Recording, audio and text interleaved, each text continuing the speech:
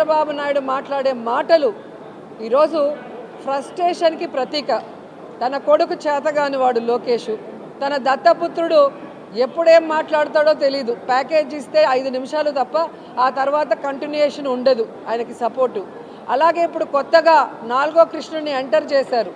మరి ఆవిడ ఈ రాష్ట్రాన్ని ముక్కలు చెక్కలు చేసిన కాంగ్రెస్ పార్టీలోకి ఎంటర్ అయి ఈ రాష్ట్రానికి ప్రత్యేక హోదా రాకుండా పార్లమెంట్లో తలుపులేసి అన్యాయం చేసిన కాంగ్రెస్లోకి ఎంటర్ రాష్ట్రంలో కేంద్రంలో కాంగ్రెస్ రెండుసార్లు అధికారంలోకి రావడానికి కారణమైన రాజశేఖర రెడ్డి గారి పేరుని ఆయన మరణించిన తర్వాత ఎఫ్ఐఆర్లో రాసి అవమానించిన ఆ కాంగ్రెస్ పార్టీలోకి ఎంటర్ ఆ వైఎస్ఆర్ గారి కుటుంబాన్ని ముక్కలు చెక్కలు చేసి వైఎస్ఆర్ కొడుకుని కారణం లేకుండా ఏ విధంగా అన్యాయంగా తప్పుడు కేసులు పెట్టి జైల్లో పెట్టిన ఆ కాంగ్రెస్లోకి ఎంటర్ అయి స్వలాభం కోసం జగనన్న మీద విషం చెబుతూ ఈ రాష్ట్ర ప్రజల్ని అవమానిస్తుంటే ఏ విధంగా వాళ్ళని ప్రజలు నమ్ముతారు వాళ్ళకి ఓట్లు వేస్తారో ఒకసారి ఆలోచించండి. కాబట్టి పక్క రాష్ట్రాల్లో ఓట్లు పెట్టుకొని పక్క రాష్ట్రాల్లో కాపురాలు చేసుకుంటూ కప్ప రాష్ట్రాల్లో కోవిడ్ సమయంలో హ్యాపీగా సేఫ్గా ఉంటూ ఎలక్షన్స్ వస్తే సంక్రాంతి వస్తే డూడు బసవన్లు వచ్చినట్టు ఆంధ్రప్రదేశ్కి వచ్చి జగన్మోహన్ రెడ్డి గారి గురించి అవాకులు చవాకులు పేలితే జనాలు వీళ్ళందరినీ కూడా తొందరలో హైదరాబాద్కి కట్టగట్టి పార్సిల్ చేస్తారని కూడా ఈ సందర్భంగా తెలియజేసుకుంటున్నా.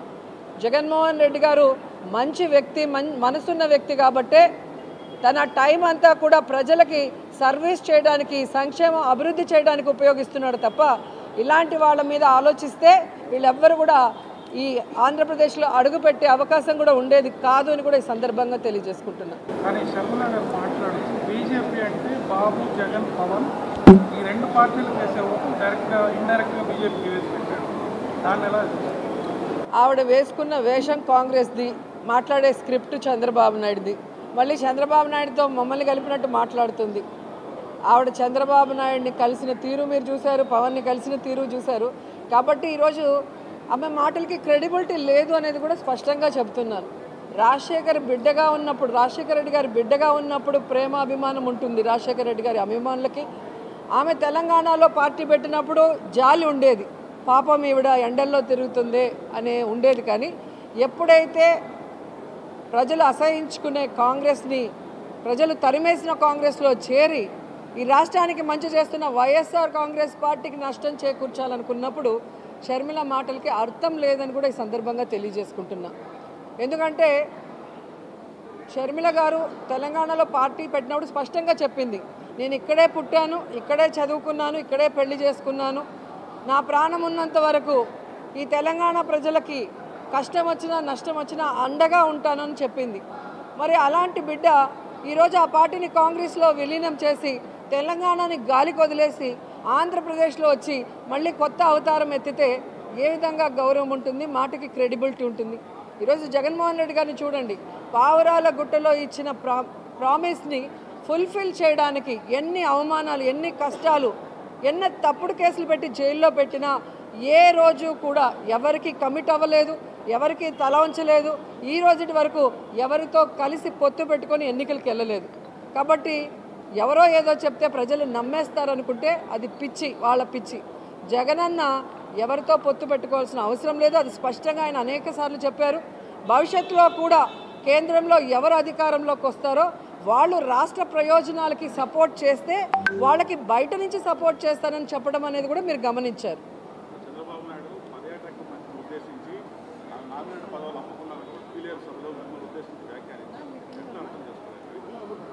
ఓటు నోటు కేసులో దొంగలా దొరికిపోయిన చంద్రబాబు నాయుడు చంద్రబాబు నాయుడు పిల్లనిచ్చిన మామకు వెన్నుపోటు పొడిచి ఎమ్మెల్యేలని ఎంపీలని ఎత్తుకుపోయి వైస్రాయిలో పెట్టి చెప్పులేయించినోడు అసలు రాజకీయాల్ని డబ్బుతో భ్రష్టు పట్టించి పక్క పార్టీలో గెలిచిన వాళ్ళని డబ్బులు పెట్టి కొనే ఈ పెద్ద మనిషి మా గురించి మాట్లాడటం సిగ్గుచేటు.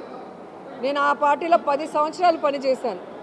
ఈ పది సంవత్సరాల్లో నేను ఏ రోజైనా ఒక తప్పు చేశానను ఒకరి దగ్గర ఒక రూపాయి తీసుకున్నానను ప్రూవ్ చేయమనండి. మీ పార్టీలో పనిచేసిన వ్యక్తినే కదా.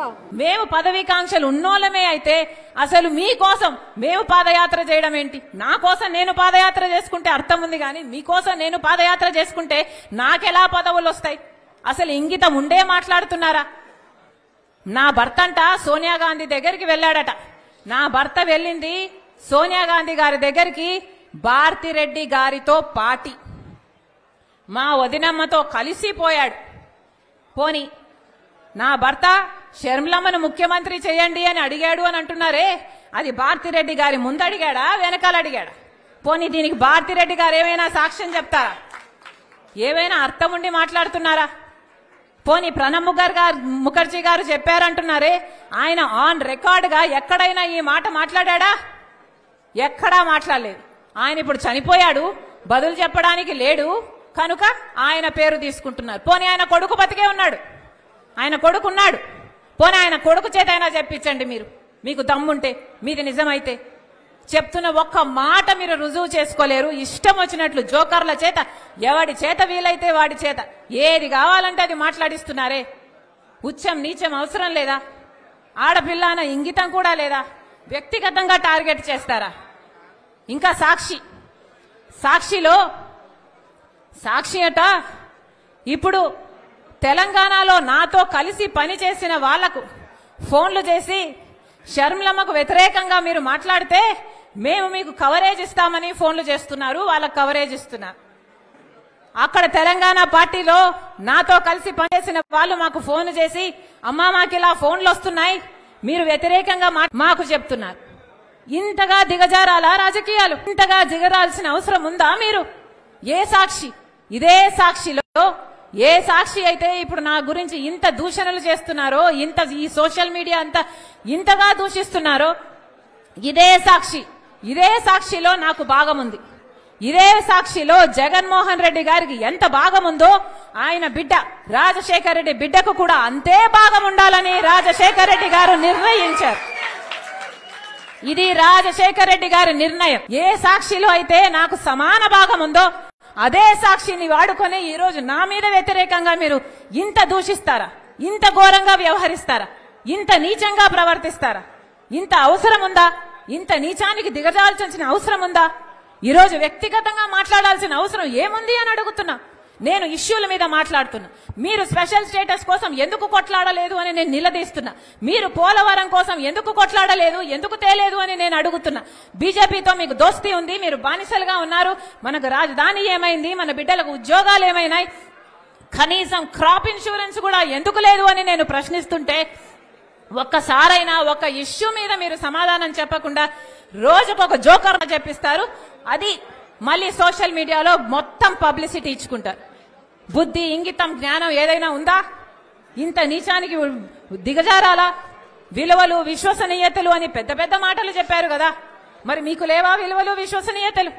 ఆలోచన చేయాలి. తెలుగు ప్రజలు పిచ్చోళ్ళు కాదు. అన్ని గమనిస్తున్నారు అన్ని చూస్తున్నారు. నేను రాజశేఖర్ రెడ్డి బిడ్డను. పులి కడుపున పులే పుడుతుంది. రాజశేఖర్ రెడ్డి రక్తం నాలో ప్రవహిస్తుంది. నేను రాజశేఖర్ రెడ్డి బిడ్డ వైఎస్ షర్మిల రెడ్డి. నా పేరు ఇదే నా ఉనికి ఇదే. ఎవరు కాదన్నా ఎవరు అవునన్నా ఎవరు గీ పెట్టినా నేను వైఎస్ షర్మిల రెడ్డి. ఆంధ్ర రాష్ట్ర ప్రజలకు మేలు చేయడానికే ఇక్కడికి వచ్చాం నా గుండెలో నిజాయితీ ఉంది. ఆంధ్ర రాష్ట్ర ప్రజలకు వాళ్ళ హక్కులు కల్పించాలని రాజశేఖర్ రెడ్డి బిడ్డ ఈ రోజు తన పుట్టినింటిలో ఆంధ్ర రాష్ట్రంలో అడుగుపెట్టింది. నిలబడుతుంది కొట్లాడుతుంది. ప్రత్యేక హోదా వచ్చేంత వరకు రాజశేఖర్ రెడ్డి బిడ్డ ఇక్కడ నుంచి కదలదు. పోలవరం వచ్చేంత వరకు రాజశేఖర్ రెడ్డి బిడ్డ ఇక్కడ నుంచి ప- కదలదు. మన రాష్ట్రానికి మన బిడ్డలకు ఉద్యోగాలు రావాలి మన రాష్ట్రం అభివృద్ధి చెందాలి అంతవరకు రాజశేఖర్ రెడ్డి బిడ్డ తన పుట్టింటి నుంచి కదలదు. మీ ఇష్టం వచ్చింది చేసుకోండి. ఎంత చేసుకుంటారో చేసుకోండి. ఏం పిక్కుంటారో పిక్కోండి. ఇక్కడ భయపడే వాళ్ళు ఎవ్వరూ లేరు.